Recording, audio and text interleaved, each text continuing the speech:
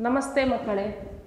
ಒಂಬತ್ತನೇ ತರಗತಿಯ ಕನ್ನಡ ಫಸ್ಟಿನ ಅಬ್ದುಲ್ ಹಮೀದ ಎನ್ನುವ ಕಥನ ಕವನವನ್ನು ನೀವು ಕಲಿತಾ ಇದ್ದೀರಿ. ಅದರಲ್ಲಿ ಕೊನೆಯ ಎರಡು ಪದ್ಯಗಳು ಬಾಕಿಯಾಗಿದೆ. ಅಬ್ದುಲ್ ಹಮೀದ ಎನ್ನುವ ಮೂವತ್ತ ಮೂರು ವರ್ಷ ಪ್ರಾಯದ ಸೈನಿಕ, ಹವಾಲ್ದಾರ, ವೀರಾವೇಶದಿಂದ ಹೋರಾಟವನ್ನು ಮಾಡಿ ನಮ್ಮ ದೇಶಕ್ಕಾಗಿ ಪ್ರಾಣಾರ್ಪಣೆ ಮಾಡ್ತಾನೆ.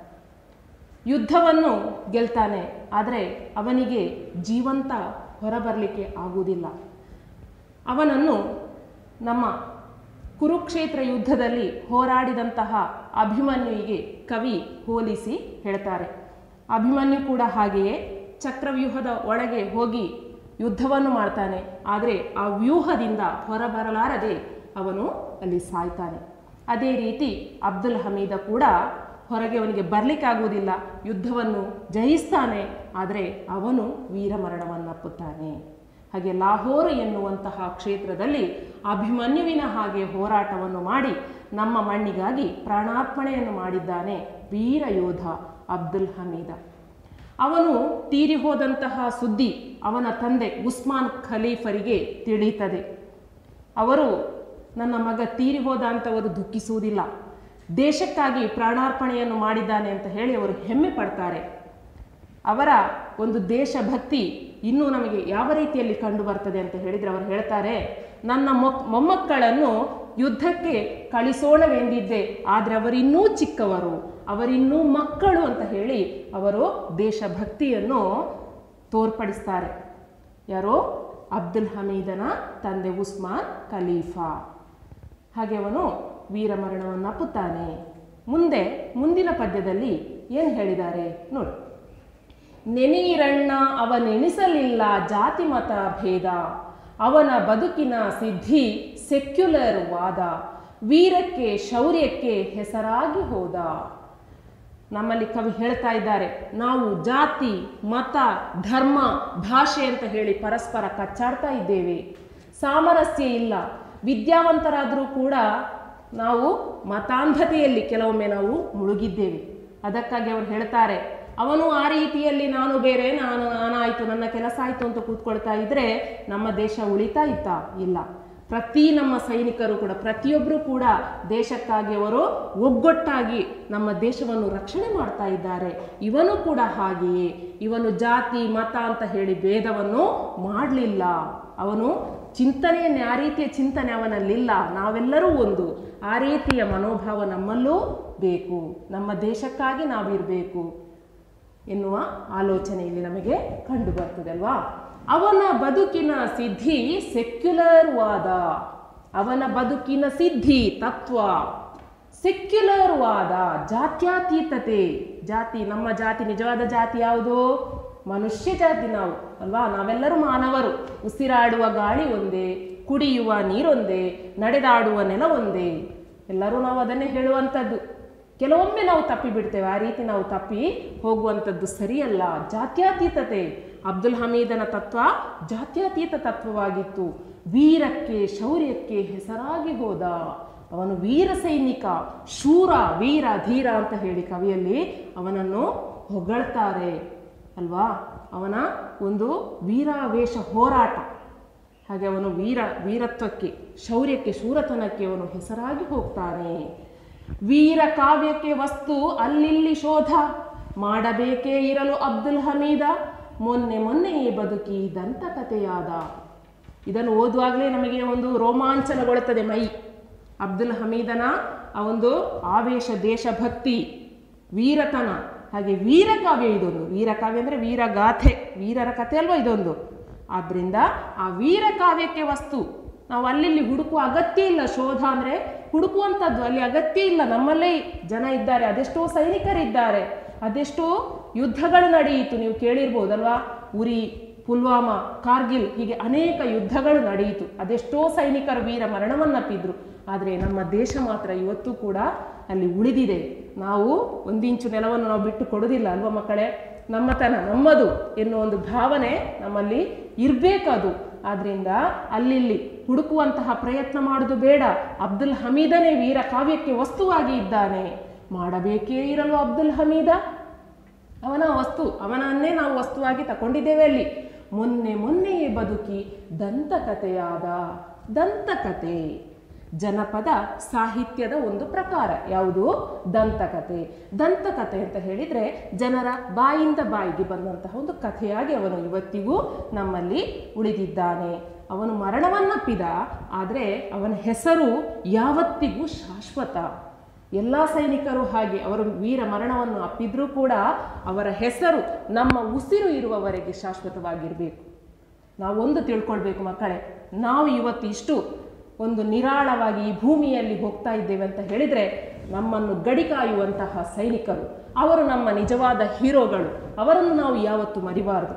ಇನ್ನೊಂದು ನಮಗೆ ಅನ್ನ ನೀಡುವಂತಹ ರೈತ ರೈತ ಮತ್ತು ಸೈನಿಕರು ಅಂತ ಹೇಳಿದರೆ ನಮ್ಮ ಮುಖದ ಎರಡು ಕಣ್ಣುಗಳು ಇದ್ದ ಹಾಗೆ, ನಮ್ಮ ಉಸಿರು ಇರಬೇಕಿದ್ರೆ ಅವರಲ್ಲಿ ಬೇಕೇ ಬೇಕು. ಆದ್ದರಿಂದ ನಾವು ವೀರ ಸೈನಿಕರಿಗೆ ಯಾವತ್ತೂ ಕೂಡ ಚಿರಋಣಿಗಳಾಗಿ ನಾವು ಬದುಕಬೇಕು. ಇಲ್ಲಿಗೆ ನಮ್ಮ ಪಾಠ ಭಾಗ ಮುಗಿಯಿತು. ಮುಂದೆ ಚಟುವಟಿಕೆಯನ್ನು ನೋಡುವ. ಮೊದಲಿಗೆ ಒಮ್ಮೆ ಪದಕೋಶ ನೋಡಿಕೊಳ್ಳಿ ಮಕ್ಕಳೇ. ಯೋಧ, ಸೈನಿಕ, ಟ್ಯಾಂಕುಗಿರಿ, ಟ್ಯಾಂಕರುಗಳೆಂಬ ಪರ್ವತ, ವಜ್ರ, ಅಂದರೆ ವಜ್ರಾಯುಧ. ವಜ್ರಾಯುಧ ಯಾರ ಕೈಯಲ್ಲಿರುವಂಥದ್ದು? ದೇವೇಂದ್ರನ ಕೈಯಲ್ಲಿರುವ ಆಯುಧ. ಹಾಗೆ ವಜ್ರದಂತಿರುವವನು ಅಬ್ದುಲ್ ಹಮೀದ. ವ್ಯೂಹ, ಸೈನ್ಯವನ್ನು ವ್ಯವಸ್ಥಿತವಾಗಿ ನಿಲ್ಲಿಸುವುದು. ಹೋಲೆ, ಹೋಲುವಂಥದ್ದು ಹೋಲಿಕೆ. ಅಮರರು, ಮರಣ ಇಲ್ಲದವರು, ಸಾವಿಲ್ಲದವರು, ದೇವತೆಗಳು. ತರುಣ, ಯುವಕ. ರಿಪು, ಶತ್ರು. ಹ್ಯಾಂಡ್ ಗ್ರೇನೇಡ್, ಸ್ಫೋಟಿಸುವ ಮದ್ದುಗುಂಡು. ಬಾನು, ಆಕಾಶ. ಭುವಿ, ಭೂಮಿ. ಸಾಟಿ, ಸರಿಸಮಾನ. ತೂರು, ನುಗ್ಗು.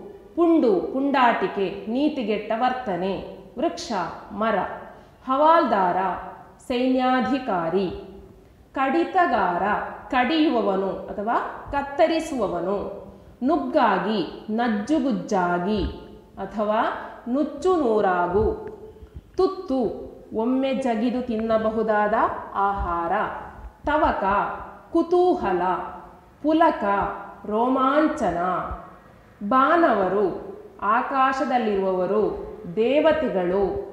ಕೈದಣಿ, ಕೈಗೆ ಆಯಾಸವಾಗು. ರಣರಂಗ, ಯುದ್ಧಭೂಮಿ, ತೊಯ್ಯು, ಹರಿಯು. ಗೋಣು, ಕುತ್ತಿಗೆ. ಕೆಡೆ, ಬೀಳು, ಉತ್ತೀರ್ಣ, ಜಯಗಳಿಸು. ಪ್ರತಾಪ, ಸಾಹಸ. ಅರ್ಚನೆ, ಪೂಜೆ. ತೇದ ಸವೆಸಿದ. ಸೆಕ್ಯುಲರ್, ಜಾತ್ಯಾತೀತತೆ. ಶೋಧ, ಹುಡುಕು. ದಂತಕತೆ, ಕಟ್ಟುಕತೆ. ಇನ್ನು ಚಟುವಟಿಕೆಗಳು, ಪ್ರಶ್ನೋತ್ತರ ಅಲ್ಲಿದೆ ಅಲ್ವಾ? ಒಮ್ಮೆ ನೋಡುವ. ಕೆಳಗೆ ಕೊಡಲಾದ ಪ್ರಶ್ನೆಗಳಿಗೆ ಉತ್ತರ ಬರೆಯಿರಿ ಒಂದನೆಯ ಪ್ರಶ್ನೆ, ಕವಿಯು ಅಬ್ದುಲ್ ಹಮೀದನನ್ನು ಅಭಿಮನ್ಯುವಿಗೆ ಹೋಲಿಸಲು ಕಾರಣವೇನು? ಒಂದು ಮಾದರಿ ಉತ್ತರವನ್ನು ನಾನೀಗ ಓದ್ತೇನೆ ಮಕ್ಕಳೇ. ನೀವು ನಿಮ್ಮದೇ ಆದ ಒಂದು ಉತ್ತರವನ್ನು ಬರೆದು ಅಧ್ಯಾಪಕರಿಗೆ ತೋರಿಸಬೇಕು. ನೋಡಿ, ಇದೊಂದು ಮಾದರಿ ಉತ್ತರ. ಅಭಿಮನ್ಯು ಕುರುಕ್ಷೇತ್ರ ಯುದ್ಧದಲ್ಲಿ ವೀರಾವೇಶದಿಂದ ಹೋರಾಡಿ ಚಕ್ರವ್ಯೂಹವನ್ನು ಭೇದಿಸಿ ವೀರಮರಣವನ್ನು ಹೊಂದುತ್ತಾನೆ. ಅದೇ ರೀತಿ ಅಬ್ದುಲ್ ಹಮೀದ ಲಾಹೋರ ಕ್ಷೇತ್ರದಲ್ಲಿ ವೀರಾವೇಶದಿಂದ ಹೋರಾಡಿ ಶತ್ರುಗಳ ಟ್ಯಾಂಕ್ ವ್ಯೂಹವನ್ನು ಭೇದಿಸಿ ವೀರಮರಣವನ್ನು ಹೊಂದುತ್ತಾನೆ. ಆದ್ದರಿಂದ ಅಬ್ದುಲ್ ಹಮೀದನನ್ನು ಅಭಿಮನ್ಯುವಿಗೆ ಹೋಲಿಸಿದ್ದಾರೆ. ಎರಡನೆಯ ಪ್ರಶ್ನೆ. ಹಮೀದನು ಯುದ್ಧವೆಂಬ ಅಗ್ನಿ ಪರೀಕ್ಷೆಯನ್ನು ಗೆದ್ದ ಬಗೆ ಹೇಗೆ? ಎರಡನೇ ಪ್ರಶ್ನೆಯ ಉತ್ತರ, ಯುದ್ಧದಲ್ಲಿ ಸತ್ತವರನ್ನು ಬಿದ್ದವರನ್ನು ಹಿಂದೆ ಹಾಕಿ ನಡೆಯುತ್ತಾ, ಅಡ್ಡ ಬಂದವರನ್ನು ಗುಂಡಿಕ್ಕಿ ಹೊಡೆಯುತ್ತಾ, ಯುದ್ಧವೆಂಬ ಅಗ್ನಿ ಪರೀಕ್ಷೆಯಲ್ಲಿ ಸರಿಯಾದ ಉತ್ತರವನ್ನು ಬರೆದು ಗೆದ್ದ ಎಂದು ಕವಿ ಹೇಳುತ್ತಾರೆ. ಮೂರನೆಯ ಪ್ರಶ್ನೆ, ಅಬ್ದುಲ್ ಹಮೀದನು ಹೇಗೆ ಭೂಮಿಗೆ ಕೆಡೆದನು? ಅಬ್ದುಲ್ ಹಮೀದನ ಕಣ್ಣುಗಳು ಅರೆಮುಚ್ಚಿದವು ಹೆಗಲಲ್ಲಿ ಗೋಣು ಮುರಿಯಿತು. ಬಂದೂಕು ಕೈಯಿಂದ ಸಡಿಲುತ್ತಾ ಭೂಮಿಗೆ ಕೆಡದನು. ನಾಲ್ಕನೆಯ ಪ್ರಶ್ನೆ. ಹಮೀದನ ವೀರಮೃತ್ಯುವನ್ನು ಅರಿತ ತಂದೆ ಉಸ್ಮಾನ್ ಖಲೀಫಾ ಏನೆಂದು ಹೇಳಿದರು? ಉತ್ತರ ಹಮೀದನ ವೀರ ಮೃತ್ಯುವನ್ನು ಅರಿತ ತಂದೆ ಉಸ್ಮಾನ್ ಖಲೀಫಾ ಮಗನ ಅಸಮ ಪ್ರತಾಪವನ್ನು ಮೆಚ್ಚಿ ಹೊಗಳಿದರು. ಪುತ್ರ ಸಿಂಹನು ಬಿಟ್ಟು ಹೋದ ಟ್ಯಾಂಕುಗಳನ್ನು ಹರಿದು ಚೆಲ್ಲುವುದಕ್ಕಾಗಿ ಮೊಮ್ಮಕ್ಕಳನ್ನು ಕಳಿಸೋಣ ಎಂದಿದ್ದೆ, ಆದರೆ ಅವರಿನ್ನೂ ಚಿಕ್ಕವರು ಎಂದು ಹೇಳಿದರು. ಮುಂದಿನ ಚಟುವಟಿಕೆ. ಗದ್ಯ ರೂಪದಲ್ಲಿ ಬರೆಯಿರಿ. ಅಬ್ದುಲ್ ಹಮೀದ ಕಥನ ಕವನದ ಕಥೆಯನ್ನು ಗದ್ಯ ರೂಪದಲ್ಲಿ ಬರೆಯಿರಿ. ಮೊದಲು ಶೀರ್ಷಿಕೆ, ವೀರ ಯೋಧ ಅಬ್ದುಲ್ ಹಮೀದ. ಇನ್ನು ಆ ಕಥನ ಕವನವನ್ನು ನಾವು ಗದ್ಯ ರೂಪದಲ್ಲಿ ಈ ರೀತಿ ಬರೆಯಬಹುದು ಇದೊಂದು ಮಾದರಿ, ನೋಡಿಕೊಳ್ಳಿ. ಅಬ್ದುಲ್ ಹಮೀದ ಕಥನ ಕವನದಲ್ಲಿ ಅಬ್ದುಲ್ ಹಮೀದನನ್ನು ಅಭಿಮನ್ಯುವಿಗೆ ಹೋಲಿಸಿ ವರ್ಣಿಸಲಾಗಿದೆ. ಟ್ಯಾಂಕರುಗಳೆಂಬ ಪರ್ವತಕ್ಕೆ ವಜ್ರಾಯುಧನಾದಂತಹ ಅಬ್ದುಲ್ ಹಮೀದ ಭಾರತೀಯರಿಗೆಲ್ಲ ಬಾಯಿ ಮಾತಾದವ. ಲಾಹೋರ ಕ್ಷೇತ್ರದಲ್ಲಿ ಅಭಿಮನ್ಯುವಿನಂತೆ ಹೋರಾಡಿ ವೀರ ಮರಣವನ್ನು ಹೊಂದಿದವ. ಶತ್ರುಗಳ ಟ್ಯಾಂಕ್ ವ್ಯೂಹವನ್ನು ಒಡೆದು ಜಯಗಳಿಸಲು ಹೋದ ಹಮೀದನಿಗೆ ಆಗ ಕೇವಲ ಮೂವತ್ತ ಮೂರು ವರ್ಷ ಪ್ರಾಯ. ಯುದ್ಧ ಭೂಮಿಯಾದ ಕಸೂರು ಕ್ಷೇತ್ರ ಕುರುಕ್ಷೇತ್ರವನ್ನು ಹೋಲುತ್ತಿತ್ತು. ದೇವತೆಗಳು ಆಕಾಶದಲ್ಲಿ ಸೇರಿ ಕಣ್ಣು ಸೋಲುವವರೆಗೂ ಸೈನ್ಯವನ್ನು ನೋಡಿದರು. ಹ್ಯಾಂಡ್ ಗ್ರೇನೇಡುಗಳು ಹಾಗೂ ಬಾಂಬರುಗಳಿಂದ ಬಾಂಬುಗಳು ಸಿಡಿದು ಭೂಮಿ ಆಕಾಶವೆಲ್ಲ ಬೆಂಕಿಮಯವಾಗಿತ್ತು. ಇದು ಯಾವುದನ್ನೂ ಲೆಕ್ಕಿಸದೆ ಪಾಕಿಸ್ತಾನದವರ ಮುಂಚೂಣಿಯನ್ನು ಮುರಿಯುವುದಕ್ಕೆ ಸಿಡಿಲಿನಂತೆ ಮುನ್ನುಗ್ಗಿದನು. ಇವನಿಗೆ ಸರಿಸಮಾನನಾದ ಇನ್ನೊಬ್ಬ ವೀರಯೋಧ ಇರಲು ಸಾಧ್ಯವಿಲ್ಲ. ಬಂದೂಕಿನಿಂದ ಹೊರಟ ಶಬ್ದ ಎಲ್ಲೆಡೆ ಕೇಳಿಸುತ್ತಿದ್ದರೂ ಈ ವೀರ ಯೋಧ ಶತ್ರುಗಳಿಗೆ ಬೆನ್ನು ತೋರಿಸದೆ ಶಿವನ ಹಣೆಗಣ್ಣು ತೆರೆದಂತೆ ಕೈಯಲ್ಲಿ ಬಂದೂಕು ಹಿಡಿದು ಮುನ್ನುಗ್ಗುತ್ತಾನೆ. ಶತ್ರುಗಳ ಸೈನ್ಯವನ್ನು ಹಿಮ್ಮೆಟ್ಟಿಸುವುದಕ್ಕಾಗಿ ಮುನ್ನಡೆಯುತ್ತಿದ್ದಾಗ ಗುಂಡುಗಳು ಅವನ ತೋಳು ತೊಡೆಯ ಪಕ್ಕದಲ್ಲಿ ನುಗ್ಗಿದರೂ ಲೆಕ್ಕಿಸದೆ ಪಾಕಿಸ್ತಾನದವರ ಪುಂಡಾಟಿಕೆಯನ್ನು ಅಡಗಿಸಲು ಹೋರಾಡುತ್ತಾನೆ. ಯುದ್ಧದಲ್ಲಿ ಎರಡೂ ಪಡೆಗಳು ಪರಸ್ಪರ ಹೋರಾಡಿದಾಗ ಅವರ ಕೈಗೆ ಕೈಯೇರಿ ಹ್ಯಾಂಡ್ ಗ್ರೆನೇಡ್ನಲ್ಲಿದ್ದ ಸಿಡಿಮದ್ದುಗಳು ಹಾರಿ ಶತ್ರುಗಳ ಕೈಕಾಲು ಮಿದುಳು ಚೆಲ್ಲಾಪಿಲ್ಲಿಯಾಯಿತು. ಸತ್ತವರನ್ನು ಬಿದ್ದವರನ್ನು ಲೆಕ್ಕಿಸದೆ ಅಡ್ಡ ಬಂದವರನ್ನು ಗುಂಡಿಕ್ಕಿ ಹೊಡೆದು ಯುದ್ಧವೆಂಬ ಅಗ್ನಿ ಪರೀಕ್ಷೆಯಲ್ಲಿ ಸರಿಯಾದ ಉತ್ತರ ಬರೆಯುತ್ತಾನೆ. ಶತ್ರುಗಳೆಂಬ ವನದಲ್ಲಿದ್ದ ಸೈನಿಕರೆಂಬ ವೃಕ್ಷಗಳನ್ನು ಕಡಿಯುತ್ತಾ ಈ ಹವಾಲ್ದಾರ ಟ್ಯಾಂಕರುಗಳೆಂಬ ಪರ್ವತವನ್ನು ಕೆಡವಿದ. ಒಂದು ಟ್ಯಾಂಕರಿಗೆ ಹೊಡೆದಾಗ ಅದು ನುಚ್ಚು ನೂರಾಯಿತು ಇನ್ನೊಂದು ಟ್ಯಾಂಕರು ಧಗಧಗಿಸಿ ಉರಿಯುತ್ತಿತ್ತು. ಬೆಂದ ಸೈನಿಕರು ಮೃತ್ಯುವಿಗೆ ಆಹುತಿಯಾಗಿದ್ದರು. ಏನಾಗುವುದೋ ಎಂದು ಕುತೂಹಲದಿಂದ ನೋಡುತ್ತಿದ್ದ ದೇವತೆಗಳು ರೋಮಾಂಚನಗೊಂಡು ಹೂಮಳೆಯನ್ನು ಸುರಿಸಿದರು. ಅಬ್ದುಲ್ ಹಮೀದನಿದ್ದರೆ ನಮಗೆ ಉಳಿಗಾಲವಿಲ್ಲ ಎಂದು ಅರಿತ ಶತ್ರು ಸೈನಿಕರು ರಣರಂಗದಲ್ಲಿ ಒಗ್ಗಟ್ಟಾಗಿ ಒಂದು ಟ್ಯಾಂಕರನ್ನು ಅಬ್ದುಲ್ಲ ನೆಡೆಗೆ ಕಳುಹಿಸಿ ಹಣೆಗೆ ಗುರಿಯಿಟ್ಟು ಗುಂಡು ಹಾರಿಸಿದರು. ಕಣ್ಣಿಗೆ ಹರಿದು ಬರುತ್ತಿದ್ದ ರಕ್ತವನ್ನು ಕೈಯಿಂದ ಒರೆಸಿ ಶತ್ರು ಸೈನ್ಯದ ಕಡೆಗೆ ಗುರಿಯಿಟ್ಟು ಗುಂಡು ಹೊಡೆದನು. ತಗುಲಿದ ಗುಂಡೇಟಿನಿಂದ ಅವನ ಕಣ್ಣುಗಳು ಅರೆಮುಚ್ಚಿದವು. ಹೆಗಲಲ್ಲಿ ಕುತ್ತಿಗೆ ಮುರಿಯಿತು. ಕೈಯಲ್ಲಿದ್ದ ಬಂದೂಕು ಸಡಿಲಗೊಂಡು ಅಬ್ದುಲ್ ಹಮೀದ ಭೂಮಿಗೆ ಬಿದ್ದನು. ಅವನು ಯುದ್ಧದಲ್ಲಿ ಮರಣ ಹೊಂದಿದರೂ ಅವನ ಹೆಸರು ಇತಿಹಾಸದಲ್ಲಿ ಶಾಶ್ವತವಾಗಿ ಉಳಿದುಕೊಂಡಿತು. ಯುದ್ಧವೆಂಬ ಪರೀಕ್ಷೆಯಲ್ಲಿ ಗೆದ್ದು ದೇಶಕ್ಕೆ ಜಯವನ್ನು ತಂದುಕೊಟ್ಟ. ಅಬ್ದುಲ್ ಹಮೀದನಂತಹ ಸಿಂಹವನ್ನು ಪಡೆದ ಅವನ ತಂದೆ ಉಸ್ಮಾನ್ ಖಲೀಫಾ ಮಗನ ವೀರ ಮೃತ್ಯುವನ್ನು ಕೇಳಿ ಅವನ ಪರಾಕ್ರಮವನ್ನು ಮೆಚ್ಚಿ ಹೊಗಳುತ್ತಾನೆ. ಅವನು ಬಿಟ್ಟು ಉಳಿಸಿ ಹೋದ ಶತ್ರುಗಳ ಟ್ಯಾಂಕರುಗಳನ್ನು ನುಚ್ಚುನೂರು ಮಾಡುವುದಕ್ಕೆ ಮೊಮ್ಮಕ್ಕಳನ್ನು ಕಳಿಸೋಣ ಎಂದರೆ ಅವರಿನ್ನೂ ಚಿಕ್ಕವರು ಎಂದು ಹೇಳಿ ತನ್ನ ಸರಿಸಾಟಿ ಇಲ್ಲದ ದೇಶಪ್ರೇಮವನ್ನು ಮೆರೆದನು.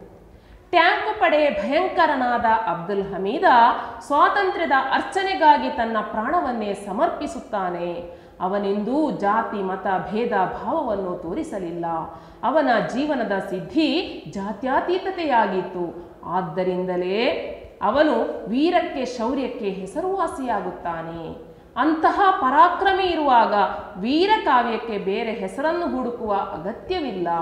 ಮೊನ್ನೆ ಮೊನ್ನೆಯಷ್ಟೇ ಬದುಕಿದ್ದು ಈಗ ದಂತಕಥೆಯಾಗಿ ಹೋದ ಅಬ್ದುಲ್ ಹಮೀದ ದೇಶಕ್ಕಾಗಿ ತನ್ನ ಪ್ರಾಣವನ್ನೇ ಬಲಿದಾನವಾಗಿ ಕೊಟ್ಟಂತಹ ವೀರ ಪುರುಷ ಅವನ ಪರಾಕ್ರಮವನ್ನು ಪ್ರತಿಯೊಬ್ಬ ಪ್ರಜೆಯೂ ಸದಾ ಸ್ಮರಿಸಬೇಕು. ಮುಂದಿನ ಚಟುವಟಿಕೆ, ಘೋಷಣಾ ವಾಕ್ಯ ಬರೆಯಿರಿ. ಘೋಷಣಾ ವಾಕ್ಯ ಅಂತ ಹೇಳುವಾಗ ಮಕ್ಕಳೇ, ಚಿಕ್ಕದಾಗಿರಬೇಕು, ಅದರಲ್ಲಿ ವಿಷಯವನ್ನು ಹೊಂದಿರಬೇಕು ಪ್ರಾಸಪದ ಇದ್ರೆ ಉತ್ತಮ, ಅಲ್ವಾ? ನೋಡಿ, ಇಲ್ಲಿ ಕೊಟ್ಟಂತಹ ಪ್ರಶ್ನೆ, ಯುದ್ಧ ವಿರೋಧಿ ಮನೋಭಾವವನ್ನು ಬೆಳೆಸುವಂತಹ ಘೋಷಣಾ ವಾಕ್ಯಗಳನ್ನು ಬರೆಯಿರಿ. ಆಗ, ಯುದ್ಧ ಅಳಿಯಲಿ, ಶಾಂತಿ ಉಳಿಯಲಿ. ಯುದ್ಧದಿಂದ ನಾಶ, ಶಾಂತಿಯಿಂದ ವಿಕಾಸ. ಯುದ್ಧ ನಮಗೆ ಸಾಕು, ಶಾಂತಿ ನಮಗೆ ಬೇಕು.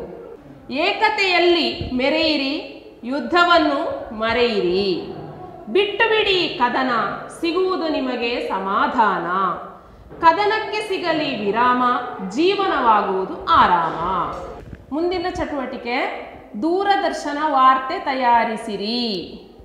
ಅಬ್ದುಲ್ ಹಮೀದನ ವೀರ ಮರಣದ ವಿಚಾರವನ್ನು ದೂರದರ್ಶನದಲ್ಲಿ ಪ್ರಸಾರ ಮಾಡುವುದಕ್ಕಾಗಿ ಲಿಖಿತ ವಾರ್ತೆಯೊಂದನ್ನು ತಯಾರಿಸಿ ತರಗತಿಯಲ್ಲಿ ಮಂಡಿಸಿರಿ. ನೋಡಿ, ವಿಷಯ ಅಬ್ದುಲ್ ಹಮೀದನ ವೀರಮರಣದ ಬಗ್ಗೆ ನಮ್ಮ ಪಾಠ ಭಾಗದಲ್ಲಿ ವಿಷಯವನ್ನು ಕೊಟ್ಟಿದ್ದಾರೆ. ಲಿಖಿತ ವಾರ್ತೆಯನ್ನು ತಯಾರು ಮಾಡಬೇಕು ನಾವು. ಬರೆದು ವಾರ್ತೆಯನ್ನು ತಯಾರಿಸುವಂಥದ್ದು. ಒಂದು ಮಾದರಿಯಲ್ಲಿ ನಾನೊಂದು ಬರೆದು ಅದನ್ನು ಓದ್ತೇನೆ.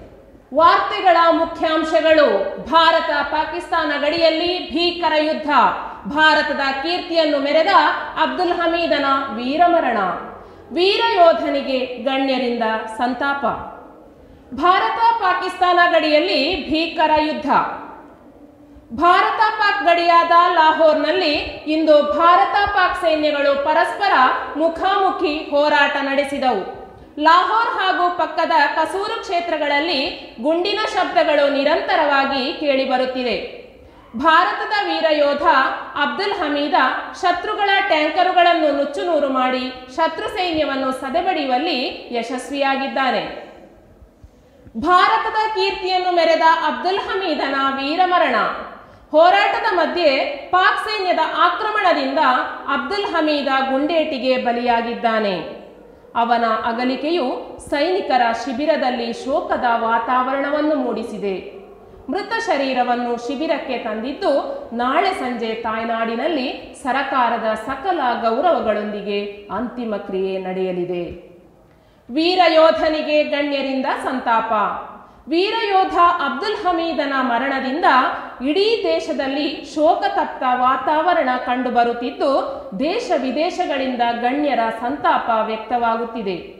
ಅಬ್ದುಲ್ ಹಮೀದನ ತಂದೆ ಮಗನ ವೀರಮರಣದ ಸುದ್ದಿ ತಿಳಿದು ಮಗನ ಅಸಮಪ್ರತಾಪವನ್ನು ಮೆಚ್ಚಿ ಹೊಗಳಿದರು. ತನ್ನ ಮೊಮ್ಮಕ್ಕಳನ್ನು ಸೈನ್ಯಕ್ಕೆ ಸೇರಿಸುವೆನೆಂದು ಈ ಸಂದರ್ಭದಲ್ಲಿ ಅಭಿಮಾನದಿಂದ ಹೇಳಿದರು. ರಾಷ್ಟ್ರಪತಿಯವರು ತಮ್ಮ ತೀವ್ರ ಸಂತಾಪವನ್ನು ವ್ಯಕ್ತಪಡಿಸುತ್ತಾ ಇಂತಹ ವೀರಯೋಧನ ಮರಣ ದೇಶಕ್ಕೆ ತುಂಬಲಾರದ ನಷ್ಟ ಎಂದರು. ಅಬ್ದುಲ್ ಹಮೀದನ ವೀರಮರಣಕ್ಕೆ ಸಂತಾಪ ವ್ಯಕ್ತಪಡಿಸಿದ ಪ್ರಧಾನಮಂತ್ರಿ ಮೃತನ ಮನೆಗೆ ತೆರಳಿ ಕುಟುಂಬಕ್ಕೆ ಸಾಂತ್ವನ ಹೇಳಿದರು. ಮುಂದಿನ ಚಟುವಟಿಕೆ, ಪ್ರಬಂಧ ಬರೆಯಿರಿ ಪ್ರಬಂಧ ಅಂತ ಹೇಳುವಾಗ ಮಕ್ಕಳೇ, ನಾವು ಸಣ್ಣ ಕ್ಲಾಸಲ್ಲೇ ಕಲಿತಿದ್ದೇವೆ. ಒಂದು ಶೀರ್ಷಿಕೆ ಬೇಕು, ಮತ್ತೊಂದು ಇಂಟ್ರೊಡಕ್ಷನ್ ಪೀಠಿಕೆ ಸ್ವಲ್ಪ ಬೇಕು, ವಿಷಯದ ವಿವರಣೆ ಬೇಕು, ನಿಗಮನ ಬೇಕು. ಇಲ್ಲಿ ಕೊಟ್ಟ ವಿಷಯ ಯುದ್ಧದ ಪರಿಣಾಮಗಳು ಎಂಬ ವಿಷಯದ ಕುರಿತು ತರಗತಿಯಲ್ಲಿ ನಡೆಯುವ ವಿಚಾರಗೋಷ್ಠಿಯಲ್ಲಿ ಮಂಡಿಸಲು ಪ್ರಬಂಧವೊಂದನ್ನು ಬರೆಯಿರಿ. ನೋಡಿ, ತರಗತಿಯಲ್ಲಿ ನಡೆಯುವ ವಿಚಾರಗೋಷ್ಠಿ.